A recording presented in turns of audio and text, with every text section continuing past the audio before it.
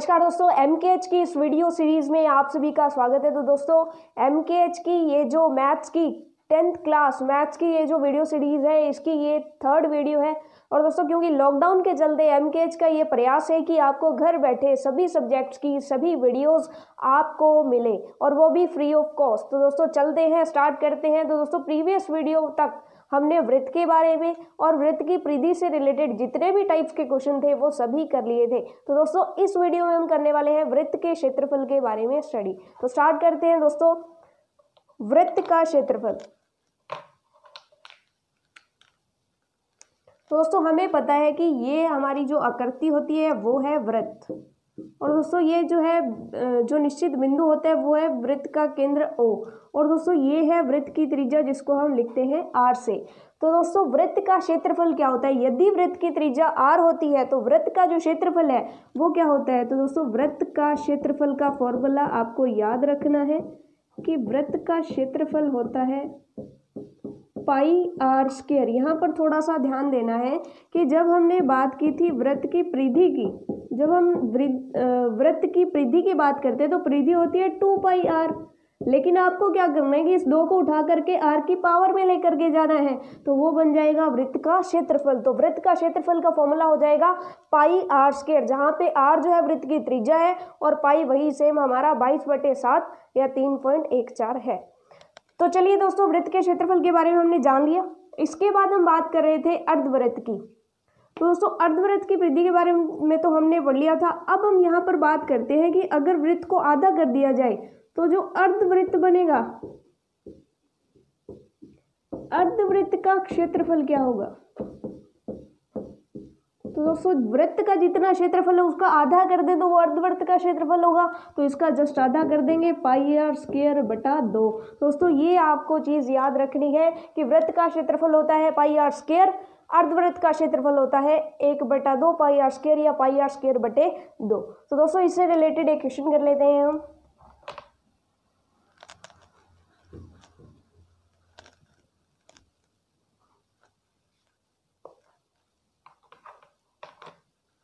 दोस्तों, यहाँ पर क्वेश्चन नंबर वन पहले टाइप फ़र्स्ट का क्वेश्चन हम लेते हैं। यहाँ पर टाइप फ़र्स्ट का क्वेश्चन सिंपल है कि आपको त्रिज्या दी गई होगी और आपको व्रत का क्षेत्रफल फाइंड करना होगा। तो चलिए दोस्तों क्वेश्चन जैसे आ गया कि यदि वृत्त की त्रिज्या, यदि वृत्त की त्रिज्या फोर्टी नाइन सेंटीमीटर है, उनचास सेंटीमीटर है तो व्रत का क्षेत्रफल ज्ञात कीजिए। तो यहाँ पर सिंपल हमारा वही तरीका जो हम स्टार्टिंग से करते आए हैं। सबसे पहले हमें लिखना है कि दिया क्या है। हमें दिया है। क्या दिया है? व्रत की त्रिज्या। और यहाँ पर आपको व्रत की त्रिज्या के ब्रैकेट में आर लिखना है, क्योंकि हम फॉर्मूला में आर की जगह पर इसका मान रखते हैं। तो यहाँ पर हम शो करेंगे कि आर लिया है हमने व्रत की त्रिज्या। जो कि ली है फोर्टी नाइन सेंटीमीटर। फिर हम लिखेंगे कि हम जानते हैं, सेम वही तरीका, हम जानते हैं, क्या जानते हैं? वृत्त का क्षेत्रफल जानते हैं। वृत्त का क्षेत्रफल कितना होता है? वृत्त का क्षेत्रफल, वहाँ पर टू पाई आर होता था परिधि में, यहाँ पर होगा पाई आर स्केयर तो यहाँ पर सिंपली पाई का माइन मान बाईस बटे सात, आर का मान, आर की वैल्यू यहाँ पर रख दीजिए forty nine. Into forty nine अब सातों सातों उनचास तो सात से कैंसिल आउट हो गया। सात को इसे जब गुणा किया तो एक सौ चौपन हो गया। एक सौ चौपन को इसे मल्टीप्लाई करते हैं तो ये हो जाएगा दोस्तों सात हज़ार पाँच सौ छियालीस मीटर स्केयर अब यहाँ पर थोड़ा सा ध्यान सॉरी सेंटीमीटर स्केयर अब यहाँ पर थोड़ा सा ध्यान दीजिएगा कि हम परिधि में मीटर या सेंटीमीटर लगा रहे थे, लेकिन क्षेत्रफल में हम सेंटीमीटर स्केयर या मीटर स्केयर क्यों लगा रहे हैं? तो यहाँ पर थोड़ा सा ध्यान देने की ज़रूरत है कि परिधि में हम टू पाई आर लेते थे। मतलब आर में मीटर या सेंटीमीटर आता था तो वो एक बार ही आता था। आर एक बार आता था तो उसके पीछे जो मीटर या सेंटीमीटर लगा है, वो भी एक बार आएगा।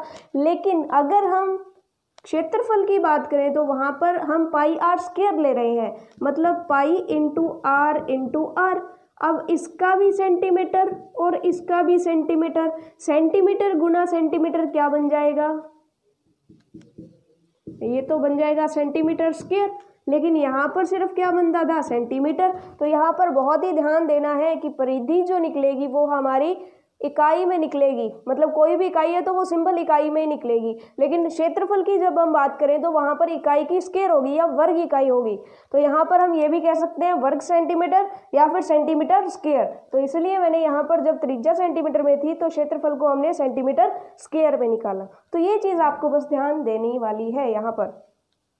तो चलिए दोस्तों, अगर यहाँ पर वो कहता कि इस अर्धवृत्त का क्षेत्रफल निकालिए तो हम सिंपल क्षेत्रफल को आधा कर देते, यहाँ बटा में दो लगा देते, ये ग्यारह हो जाता और इसका आधा जब कर देते तो आधा कीजिए।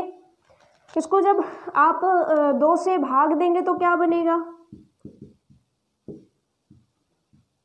टू थ्री ज़ा सिक्स, फिफ्टीन बच गया, सात दूनी चौदह, एक बच गया, फिर चार सात दूनी चौदह, फिर से चौदह आ गया और फिर छः तो तीन से गया। तो अर्धवृत्त अगर होता हमारा तो अर्धवृत्त का क्षेत्रफल कितना आता? तीन, सात सात, तीन। Centimetre square. क्षेत्रफल का हमेशा ध्यान रखना है, क्षेत्रफल या तो सेंटीमीटर स्क्वेयर में या मीटर स्क्वेयर में ही आएगा। तो चलिए दोस्तों, ये हमने कर लिया। अब क्षेत्रफल के बारे में तो हमने जान लिया कि जब त्रिज्या होती है दी होती है, तब क्षेत्रफल कैसे निकालना है। अब हम बात करेंगे कि अगर हमें क्षेत्रफल दिया हो और हमें त्रिज्या निकालनी हो तो वो कैसे निकालेंगे? तो वो होंगे हमारे टाइप सेकंड के क्वेश्चंस तो टाइप सेकंड के क्वेश्चंस अब देखते हैं। तो दोस्तों टाइप टू के जो है क्वेश्चन हम कर लेते हैं। एक क्वेश्चन टाइप टू का हम ट्राई करते हैं।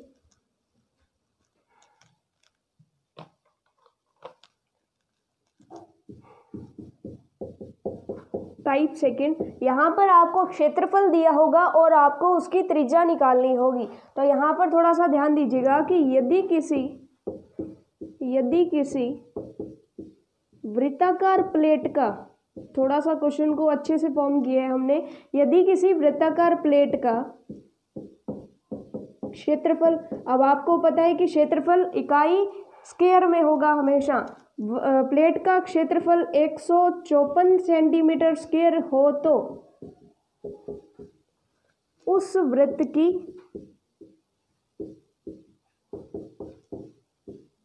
त्रिज्या ज्ञात कीजिए। अब हमें क्षेत्रफल दिया हुआ है और हमें उसकी त्रिज्या फाइंड करनी है।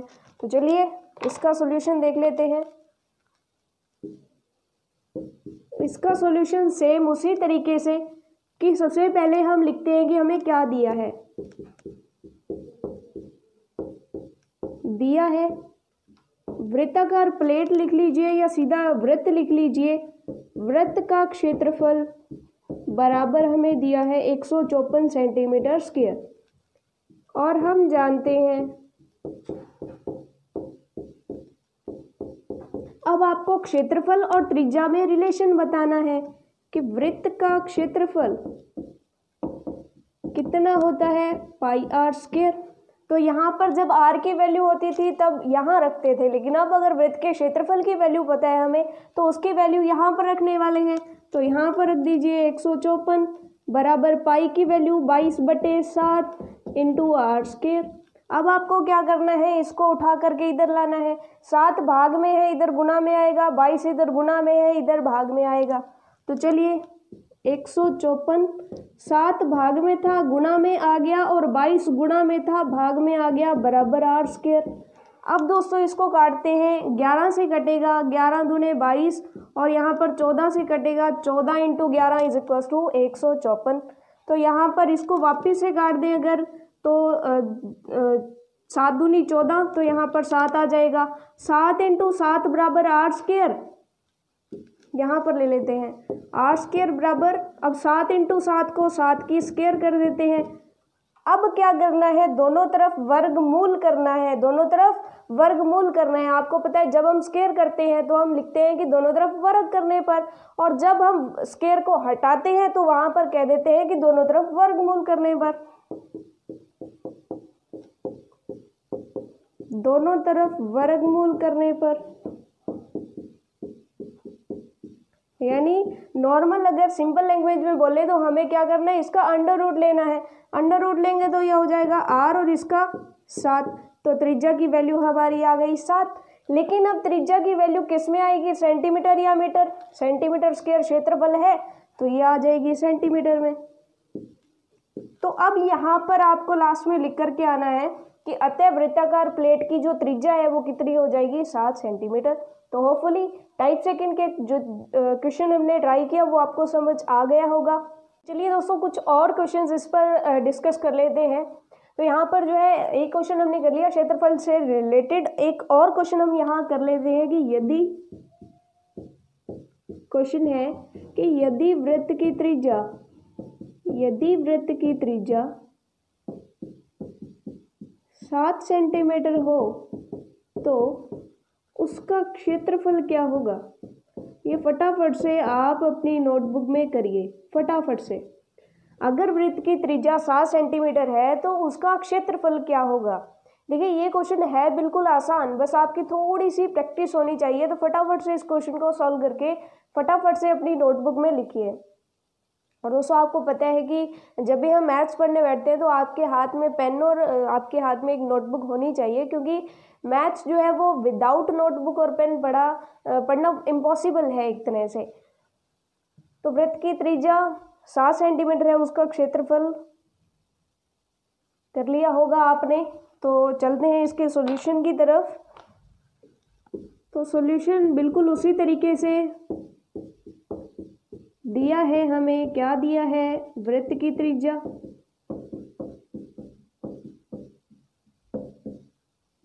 वृत्त की त्रिज्या small R is equals to seven centimetres हम जानते हैं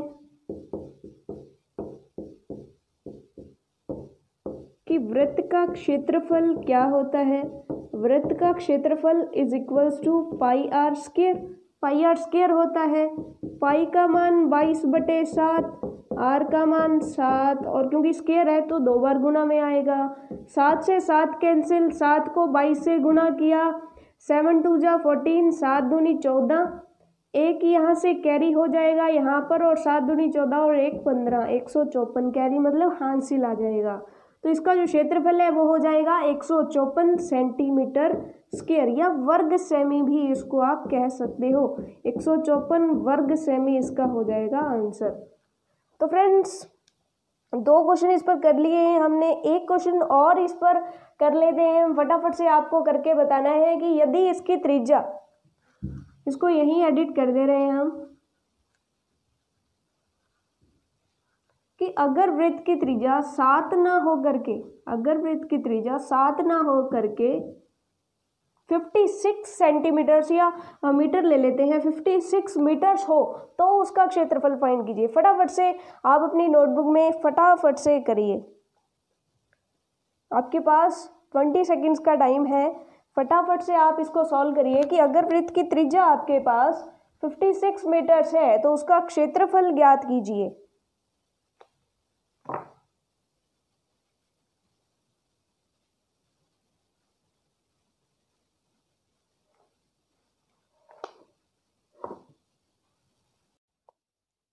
दोस्तों, यहाँ पर एक चीज़ का बहुत ही अच्छे से ध्यान रखना है कि जब आप कैलकुलेशंस करते हैं, किसी चीज़ को गुना करते हैं या भाग करते हैं तो वहाँ पर खास ध्यान रखना है आपको, क्योंकि यहाँ पर मिस्टेक्स फॉर्मूलाज में कोई मिस्टेक नहीं होगी।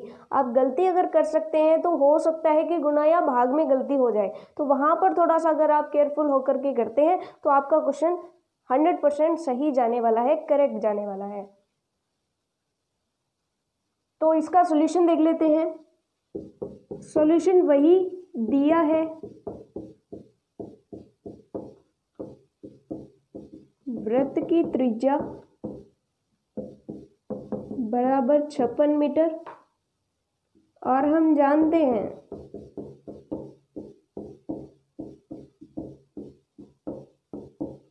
वृत्त का क्षेत्रफल बराबर होता है पाई आर स्केयर पाई का जो वैल्यू होती है, वो होती है बाईस बटे सात आर की value fifty six fifty six इसको काटते हैं तो हमें पता है आठ इंटू सात छप्पन होता है तो यहाँ पर आठ आ जाएगा।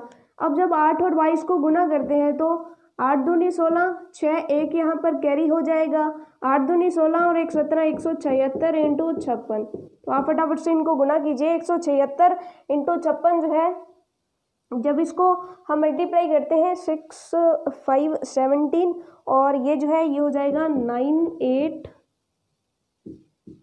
five six metre square यानी नौ हज़ार आठ सौ छप्पन मीटर स्केयर जो है, इसका आंसर आएगा।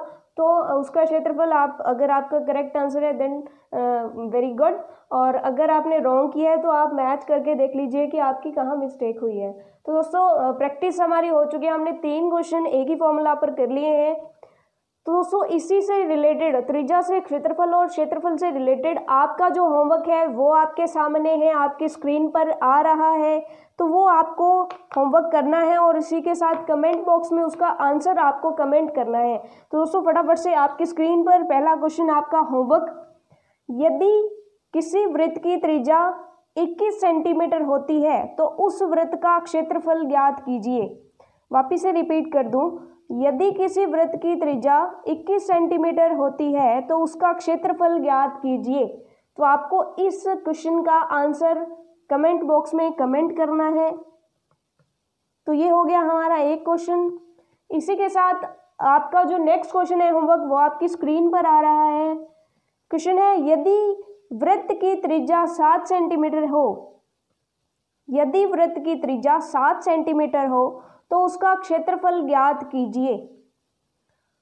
और दोस्तों, इसके बाद एक और क्वेश्चन आपका होमवर्क त्रिज्या से क्षेत्रफल हमने दो क्वेश्चन होमवर्क कर लिए। अब हम तीसरा क्वेश्चन होमवर्क जो है आपकी स्क्रीन पर कि यदि किसी वृत्त का क्षेत्रफल 616 सेंटीमीटर है, यदि किसी वृत्त का क्षेत्रफल 616 सेंटीमीटर है तो उसकी त्रिज्या ज्ञात कीजिए।